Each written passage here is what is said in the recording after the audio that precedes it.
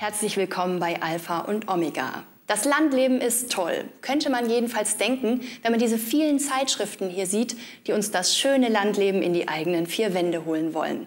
Da geht es ums eigene Gemüsebeet auf dem Balkon, um Rezepte für selbstgebackenes Brot und um schöne Möbel im Landhausstil.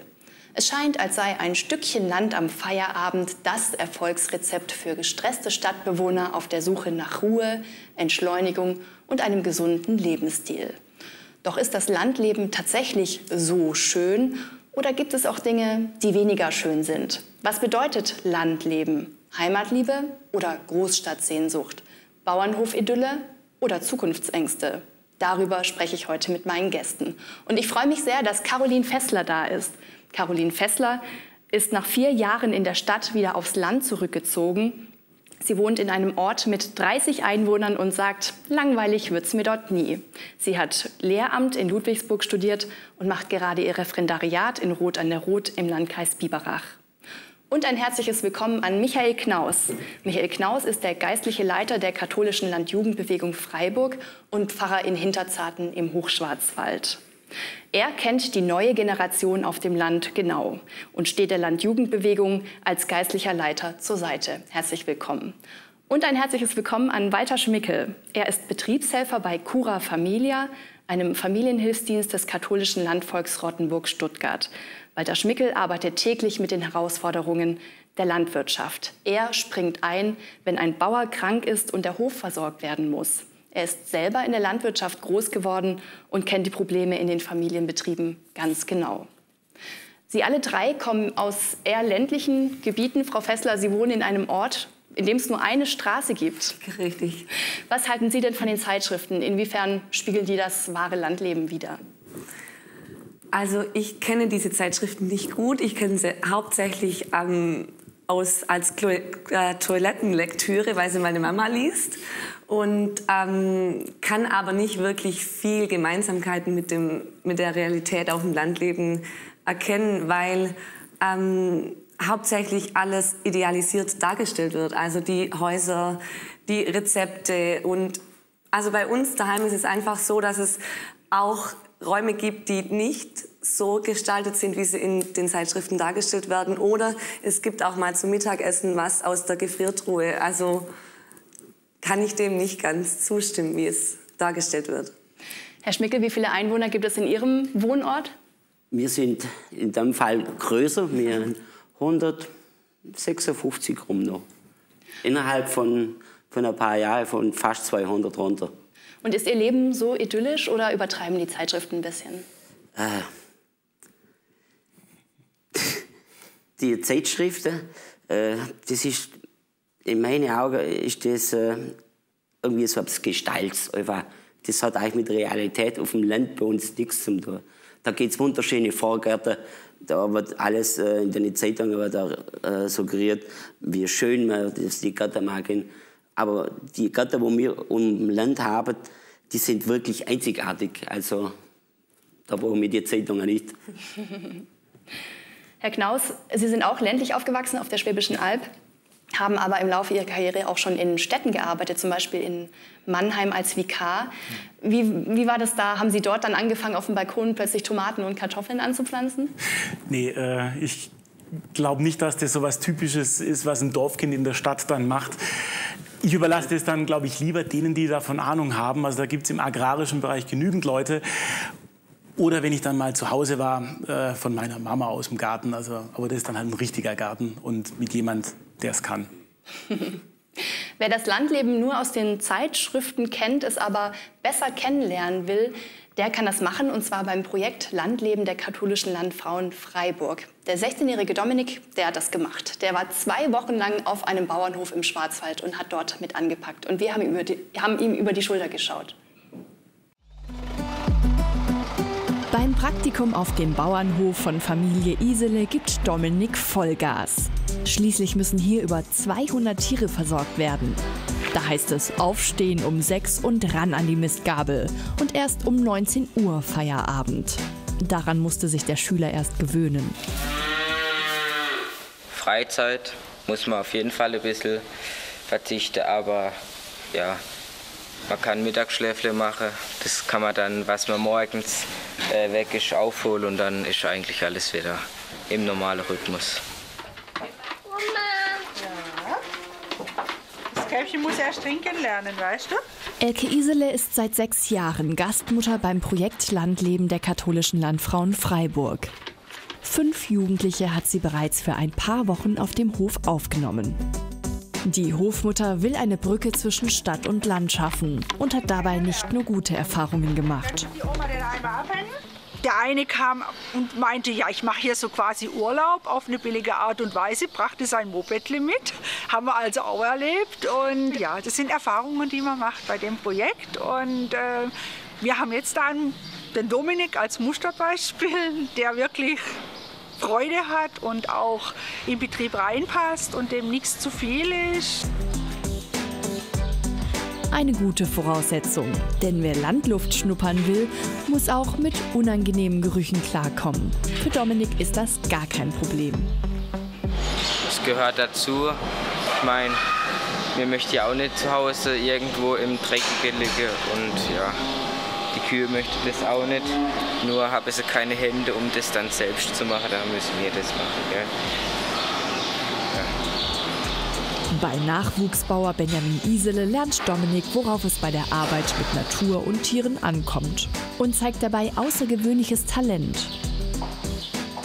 Man merkt, dass er Interesse hat nicht bloß, also er ist kein typ, typisches Stadtkind. Dass man morgens um sechs aufstehen muss und nicht, nicht bloß fünf Tage in der Woche, sondern wirklich jeden Tag aufstehen muss. Das, das wissen viele gar nicht oder sie möchten es nicht wissen, ich weiß nicht. Das ist wahrscheinlich der Hauptpunkt. Trotz harter Arbeit hat Dominik auf dem Hof von Familie Isele die Landliebe gepackt. Sein Traumberuf? Landwirt. Die Vorstellungen vom Landleben treffen manchmal nicht ganz die Realität. Bei Dominik ist das Projekt aber zum Glück gut ausgegangen. Herr Knaus, der Jungbauer in dem Film, der hat von einem typischen Stadtkind gesprochen. Können Sie diese Bezeichnung nachvollziehen? Gibt es wirklich Unterschiede zwischen Stadt- und Landjugendlichen? Also ich glaube, dass es mehr Klischeebegriffe sind. Also natürlich gibt es Unterschiede in der Lebensweise. Äh, alleine was Mobilität und so weiter betrifft, äh, sind natürlich die Stadtkinder äh, deutlich im Vorteil. Aber ich glaube, so in der Verhaltensweise, in ihrem Konsumverhalten und so weiter, glaube ich nicht. Die hören die gleiche Musik, ähm, haben die gleichen Trends, die gleichen Styles und ähm, von daher glaube ich nicht, dass es da diesen Unterschied noch gibt, wie das vielleicht vor ja, 50 oder 60 Jahren noch der Fall war. Was ist für Sie denn heutzutage der Unterschied zwischen Stadt und Land? Ich glaube, es ist vor allem äh, das soziale Gefüge. Also auf dem Land kennt man sich im Regelfall. Also zumindest je kleiner das Dorf ist, umso eher ist die Chance, dass man tatsächlich fast alle kennt. Und das, glaube ich, hat so eine ganz eigene Lebensqualität. Spielt denn die Kirche auf dem Land eine andere Rolle? Ja und nein. Natürlich sind die Trends, die wir in Städten kennen, auf dem Land genauso spürbar. Aber ich glaube, so ein paar Ecken ist es dann doch noch mal anders. Vor allem dann, wenn es um, ja, um, die, um die Lebensbegleitung geht. Also das berühmte von der Wiege bis zur Bahre. Also da merke ich schon, dass auf dem Land dann noch mal ein anderer, ein anderer Zugang zur Kirche einfach da ist. Und Sie haben ja auch gesagt, das soziale Gefüge ist anders. Wo merken Sie jetzt im Speziellen ähm, bei Ihrer Arbeit als Pfarrer, wo merken Sie da Unterschiede? Was wäre so ein Beispiel? Ganz einfach. Also ich bin jetzt seit nicht mal ganz drei Jahren an meiner Stelle und kenne eigentlich alle, die dort sind. Also inklusive äh, Bürgermeister und so weiter. Da hat man einfach einen ganz anderen direkten Draht. Und äh, ja, man ist einfach gut vernetzt. Und das war natürlich im städtischen Kontext weit, weit, weit nicht so der Fall. Und die Anonymität quasi ähm, ist auch weniger, nämlich an auf ja, mit Sicherheit. Woran kann man das also sehen? Also ich merke einfach, dass ich, wenn ich äh, im Dorf unterwegs bin, aber auch im, im Nachbarstädtchen mal bin, äh, ich werde immer wieder angesprochen, gegrüßt und ja, da, ich einfach, also, da werde ich anders wahrgenommen, als das in der Stadt ist. Da hat mich kein Mensch gekannt. Außer natürlich die Kerngemeinde, die sonntags brav da war. Frau Fessler, was ist für Sie der größte Unterschied zwischen Stadt und Land? Der größte Unterschied zwischen Stadt und Land Ich sehe es ganz ähnlich wie er, weil ähm, bei mir daheim ist es so, dass man sich nicht nur kennt, sondern also dass man sich nicht nur mit Gleichaltrigen abgibt oder unterwegs ist, sondern ganz häufig mit, mit Älteren und auch Jüngeren. Also ich bin ganz viel durch das, dass ich in einem Musikverein, in einem Musikverein spiele, ähm, bin ich am Wochenende auch mal mit 50-Jährigen unterwegs oder auch mit 16-Jährigen. Also das ist das Spannende eigentlich dran. Und das habe ich in der Stadt nicht so wahrgenommen, dass man da einfach übers Alter hinwegschaut und dann, ja. Was war für Sie denn, also Sie haben vier Jahre lang in Ludwigsburg studiert, was war für Sie der Grund, danach wieder ähm, aufs Land zurückzukehren? Ja, ich war eigentlich nie richtig weg. Also ich war ein Student, der am Wochenende immer heimfuhr.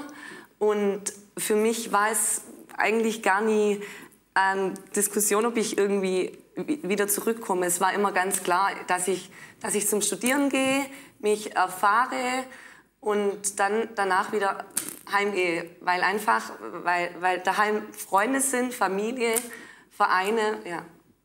Mhm. Sie haben ja auch gesagt, Ihnen wird nie langweilig. Was macht man denn in einem Ort mit nur 30 Einwohnern den ganzen Tag? Sie haben den Musikverein angesprochen. Genau. Also in dem Ort mit 30 Einwohnern, da wird es mir vermutlich langweilig werden. Also ich schaue über, über meinen Heimatort hinaus. Wir sind ganz viel ähm, mit dem Musikverein unterwegs, aber dann auch sonst, was es in, in der Gegend, jedes Wochenende sind irgendwelche Feste von anderen Vereinen, ganz viel aktuell in Festzelten und dann aber auch, wir gehen natürlich auch in die Stadt weg. Also so ist es dann nicht, dass wir nur, nur auf dem Land unterwegs sind. Und im Musikverein, ist das wirklich eine Leidenschaft? Also welches Instrument spielen Sie? Ich spiele Saxophon. Saxophon. Ist das, und ähm, ist das ein Bläser, Bläsermusikverein? Genau. Okay. Also wir machen Blasmusik. Ja. Und ist das wirklich eine Leidenschaft oder mangelt es einfach nur an Alternativen? Ähm, vielleicht beides. Also wir haben mehrere Vereine, einen Sportverein, Musikverein, Theaterverein, aber letztendlich ähm, ist die Auswahl dann schon gering. Also man man hat nicht wirklich Alternativen. Und, aber durch das, dass man dann da mittendrin ist, entwickelt sich zur Leidenschaft. Also so war es bei mir. Ja. Mhm. Herr Gnaus, welche Rolle spielen denn die Vereine und Verbände auf dem Land? Ja, das sind eben, so wie es gerade eben angeklungen ist, die Hauptakteure. Also da wird äh, im Grund des, des Landleben wird dadurch geprägt. Also die Vereine, die es gibt, die machen Veranstaltungen, die sammeln aber auch die Leute. Dort geschieht in erster Linie Vernetzung. Also mit Vereinskolleginnen und Kollegen hat man einfach einen anderen Kontakt als mit sonstigen Leuten. Und ich glaube auch, dass ähm, so ein gewisses Maß an Politik auch in den Vereinen gemacht wird. Also ein äh, Bürgermeister, Gemeinderat wird sich nie erlauben, zum Beispiel jetzt mit einem Musikverein sich zu verscherzen, äh, weil es einfach eine, ja, das ist eine Größe im Dorf und äh, das ist auch gut so. Und ähm, bei der katholischen Landjugendbewegung, welche Themen, Sie beschäftigen, sich, Sie beschäftigen sich mit Themen, die den Jugendlichen auf dem Land wichtig sind. Welche Themen sind das? Gut, da geht es natürlich vor allem um, um diese Themen, die in dem Alter relevant sind. Mobilität ist ein, ein ganz großes Stichwort. Äh, beziehungsweise dann, wenn ich nicht real von meinem Dorf wegkomme, dann möchte ich es wenigstens virtuell machen. Also sprich, da wird natürlich auch immer wieder geguckt, wie äh, steht es mit dem Ausbau der schnellen Datennetze und so weiter. Aber dann auch im, im kirchlichen Kontext. Also wie, wie leben Jugendliche ihren Glauben auf dem Dorf? Also zumal in unserer kirchlichen Situation natürlich auch unser Gemeindeleben ausdünnt. Die pastoralen Einheiten werden immer großflächiger. Und da glaube ich schon auch, dass im kirchlichen und kirchenpolitischen Kontext äh, Landjugendgruppen durchaus ähm, ja, noch so etwas wie kirchliche Heimat vor Ort vermitteln. Frau Fessler, haben Sie in Ihrer Zeit in der Stadt, äh, sind Sie da auf Vorurteile gestoßen gegenüber dem Land? Vorurteile kann man eigentlich nicht sagen. Also ich glaube, es ist auch abhängig davon, wie man sich, wie man sich dann in dem Fall in die neue Gesellschaft oder in die neue Gemeinschaft einpflegt. Und mir ist es relativ gut gelungen und ich hatte eigentlich nie Probleme oder Vorurteile. So ein Ding, was, was immer öfter angesprochen wurde, ist so der Dialekt. Also ich spreche eigentlich auch Dialekt und ich denke, das ist so vielleicht hier in der Gegend so das, das Vorurteil, dass Dialekt Ich, also, wenn man zu mir äh, sagt, ich bin Dialektsprecher, dann habe ich das Gefühl, das wird irgendwie negativ begleitet. Ja, aber, aber eigentlich Vorurteile nicht wirklich, nein. Gibt es denn was, was Sie am Stadtleben vermissen? Dass man kein Auto braucht? ja. Nee, eigentlich nicht, nicht wirklich. Nee. Ähm, Frau Fessler, Sie sind von der Stadt zurück aufs Land gezogen. Herr Schmickel, normalerweise läuft das ja andersrum. Also viele gehen weg vom Land, ziehen in die Stadt. Jede dritte Gemeinde, ländliche Gemeinde schrumpft. Aber nicht nur die Gemeinden schrumpfen, sondern auch die Landwirtschaft geht zurück. Sie haben gesagt, in Ihrem Ort gab es früher 17 Bauernhöfe und jetzt sind es nur noch zwei. Und auch Sie sind vor einigen Jahren aus der Landwirtschaft ausgestiegen. Ja. Warum? Äh, da war es einmal die Frage, Neubau. Großer Stall, so ca. 400.000 Mark in die Hände zu nehmen, bei wenig Eigentumfläche. Und das hat sich nicht gerechnet. Und dann hat man den Schritt gemacht, Landwirtschaft verpachtet. Was macht das Landwirten denn so schwer heutzutage? Die Landwirte kämpfen viel mit der Bürokratie. Also die dürfen oft den Sekretär jetzt einstellen für ganze Anträge, sonstige Sachen, was von oben diktiert wird, auch viel mischt. Und dann immer neue Sachen, wie die, jetzt wieder die Tierschutzverhaltungsordnung bei den Schweinebauern. Äh, da müssen die Bauern richtig Geld in die Hände nehmen und das haben die nicht. Die fahren schon seit Jahren, fahren die rote Zahler aber auf dem Land ist halt die Tradition, da fällt man so lang, bis wirklich nichts mehr geht. Mhm. Und Sie sind nicht ganz aus der Landwirtschaft ja, ausgestiegen, Sie sind immer noch in der Landwirtschaft aktiv ja, als Betriebshelfer. Ich bin jetzt praktisch seit 30 Jahren schon unterwegs und springe ein, wo der Landwirt krank wird. Und da bekommt man auch das ganze soziale Sach mit. Überschuldung, Ehe auseinander, Probleme und du bist mittendrin in dieser Geschichte. Also einmal wieder, also Gott ist recht hart zur Sache. Mhm. Wie schwer es ähm, landwirtschaftliche Familienbetriebe haben, sehen wir jetzt auch bei Familie Kienle aus dem Landkreis Sigmaringen. Der 30-jährige Sohn Philipp möchte den Hof von seinem Vater übernehmen. Das ist aber gar nicht so einfach, wie es sich anhört. Der Dokumentarfilmer Tobias Müller hat die Familie zwei Jahre lang begleitet und zeigt in seinem aktuellen Kinofilm Sauacker die Situation auf dem schwäbischen Familienbauernhof. Stopp. Philipp! Also, du ziehst in Benzer.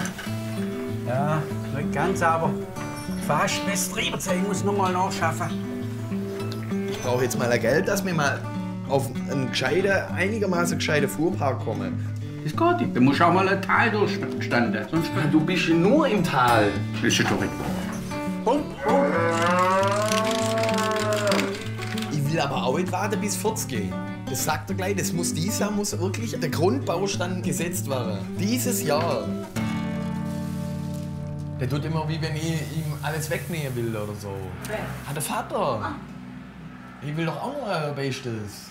Du kannst ja auch aufhören. Das nimmt dir doch niemand. Ja, das ist das Einfachste.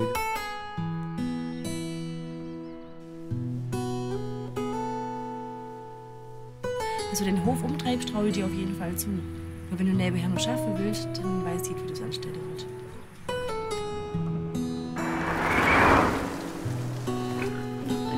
Das ist dein Dickkopf durchgesetzt. Und nie wieder hintergangen. Bis in zwei Monaten muss das Ding gerichtet sein, weil dann kommen sie. Ja. Und wenn es dann nicht gerichtet ist, nach gute Nacht um 6 Uhr.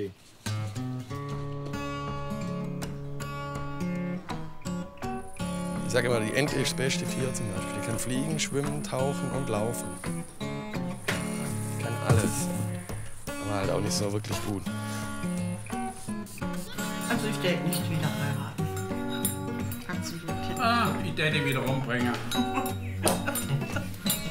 Ich mach's jetzt, glaub echt im Alleingang und sag Scheiß auf die Welt, ich habe meine Idee. So wie Frank Sinatra es gesagt hat, I did it my way. Auf meine Weise. Fertig. Stress und Zukunftsängste statt Landleben, Landliebe und Hofidylle. Herr Schmickel, kommt Ihnen das bekannt vor? Äh, das ist Alltag auf der Höfe. Also es ist, äh, die, die Landwirte sind wie in, in, in einem Hamsterrad. Die wollen praktisch immer noch weiter, noch weiter, obwohl es ist Ende. Und dann kommen so Sachen raus wie auf diesem Betrieb, dass einfach die Tradition lässt es nicht zu, dass es der Vater wird, jetzt lassen wir noch. Und das ist das, das ist das Brutale auf die Höfe. Die sind einfach verwachsen mit ihrem, mit ihrem, sage mit Feld und Flur. Das heißt, auch wenn es mal schlecht läuft, da kann man nicht einfach sagen, so Jobwechsel. Ne? Ja. Und ist wirklich so, wenn ein Landwirt, wie jetzt zum Beispiel der Bauer, jetzt nachlässt, dann fühlt er sich halt so Sager. Weil ein Landwirt war früher war jemand im Ort. Und das lieber, lieber fährt man alles an die Wand, bevor man nachlässt. Ist es in Ihrem Arbeitsalltag denn mal vorgekommen, dass ein Land, also ein, ja, ein Bauernhof, den Sie betreut haben, dass der aufgegeben werden musste? Ja, das sind schon einige, aber in letzter Zeit war einer dabei, ein großer Landwirt, der sitzt jetzt seit anderthalb Jahren in der Psychiatrie. Da haben wir den mit äh, Fachleuten und mit der Oma haben wir die Abwicklung von dem Hof gemacht, Aufgabe. Und wo der Hof aufgegeben worden ist, dann ist der Opa nach einem Vierteljahr gestorben. Weil er das mitgekriegt hat, Hofende, hat er seinen Lebensmut verloren. Das heißt, und das, was. Und das geht ihm richtig auch nach. Also der Job als Betriebshelfer, äh, der ist oft auch beladen mit so Sachen, äh, mit Problemen, wo altbekannt sind und die Leute brauchen bloß jemand manchmal zum Zuhören. Sie sind ja im Grund Sozialarbeiter. Ja. Ohne dass Sie das eigentlich gelernt haben, machen Sie es. Ja. Ich glaube, das ist auch so ein bisschen was, was wir auf dem Land ähm, fast mit der Muttermilch einsaugen. Wir kennen uns gegenseitig und da lässt uns vieles einfach auch nicht kalt. Also ja, auf, dem, auf dem Land läuft es auch noch. Ja. Zum Beispiel, dass die Nachbarin zu der anderen Nachbarin geht, weil die weiß, die ist krank. Und guckt nach der Einfach das Sozialgefüge ist da irgendwo noch so, ich sage jetzt nicht den Takt, aber es funktioniert einwandfrei. Und wie er vorher gesagt hat, so ein Dorfleben, Feuerwehr, Sportverein, äh, Narrenzunft, was, Landjugend, die haben schon eine Macht in den Orten drinnen. Frau Fessler, Sie sind ja auch auf einem Familienbetrieb groß geworden. Das ist ein Pferdehof. Was passiert da genau? Da werden Pferde abgestellt quasi von... Genau, also, ähm, wir haben Pensionspferde, ja. 30 Stück und dann noch fünf eigene Pferde. Okay. Ja. Wie, wie haben Sie so dieses Leben in einem Familienbetrieb wahrgenommen für sich? Also ich nehme es so wahr, dass, dass man sich gegenseitig hilft. Also mein Papa, der ist noch hauptberuflich Landwirt und mein Bruder ist aber momentan dabei, dass er mit einsteigt. Und aber nicht nur mein Papa und mein Bruder arbeiten, sondern wenn man Hilfe braucht, dann kann man vom Nachbarn, vom Onkel, von jedem Hilfe erwarten und das wird dann auch geleistet. Also dass man einfach füreinander da ist, ja. Herr Schmickel, die landwirtschaftlichen Betriebe, Sie meinten, die, die Sie jetzt betreuen, die haben oft finanzielle Probleme. Wie kann man sich das vorstellen? Wie viel Arbeit wird da geleistet für, wie, für welchen Lohn letztendlich? Also die schaffen, wenn man es manchmal sieht, drei, vier Euro. Wenn man wirklich Stunde. die Stunde umrechnet. Und die müssen ja Kapital mitbringen. Sie müssen ja jetzt so wie der Arbeitnehmer, der geht in die Arbeitsstelle, fertig aus, da wird alles gestellt. Ist der Landwirt, der muss ja in Vorleistungen, der muss ja zuerst mal einen Haufen Geld in die Hand nehmen, dass er überhaupt arbeiten kann. Und das ist der Wahnwitz und dann die Preise. Welche Rolle spielt denn da der Verbraucher? Der Verbraucher? Ich will jetzt nicht so drastisch sagen, aber am Verbraucher ist es oft wichtig, dass er eine relativ günstige Mahlzeit auf den Tisch kriegt. Ich denke oft, die Wertschätzung fehlt. Wenn man sieht, wie viel von den Lebensmitteln nachher in den, sagen, in den Kübel fällt. Denken Sie, dass, dass Menschen auf dem Land eine höhere Wertschätzung haben für Lebensmittel? Ich glaube inzwischen wieder. Also äh, dadurch, dass wir natürlich ganz anders in Kommunikation stehen mit den, mit den Erzeugern, äh, kriegen wir natürlich schon auch mit, dass irgendjemand den Preis bezahlen muss. Also das ist einfach so. Äh, je billiger die Dinge im Supermarktregal sind, äh, umso höher ist der Preis, der letztlich dann doch bei den Landwirten äh, bezahlt wird. Und also da ist auch die, die katholische Landjugendbewegung sehr stark äh, inzwischen äh, in dem Bereich kluger und nachhaltiger Konsum. Ähm, wir geben Handlungsempfehlungen raus. Äh, wir versuchen da auch vor Ort äh, immer wieder Politik zu machen. Sind zum Beispiel auch deswegen jedes Jahr bei der IGW, bei der Internationalen Grünen Woche in Berlin mit dabei mit einem Stand und versuchen eben auch dort nochmal deutlich zu machen, wo wir stehen. Und ähm, ja, hoffen, dass wir zumindest im Kleinen auch Dinge verändern können.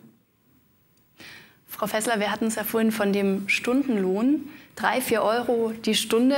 Und Sie meinten, ähm, Herr Schmickel, man macht es halt einfach, ja, man will nicht irgendwie aufgeben.